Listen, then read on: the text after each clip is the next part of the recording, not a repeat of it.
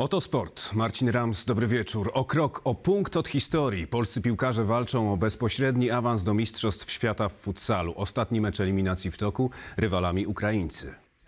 Jak zawsze, mogą Państwo też liczyć na sportowy wieczór. Czekam od 22 w TVP Sport. W programie m.in. relacja z derbów Polski w piłce ręcznej pomiędzy Industrią Kielce a Orlen Wisłą Płock. Wszystkiego dobrego. Do zobaczenia.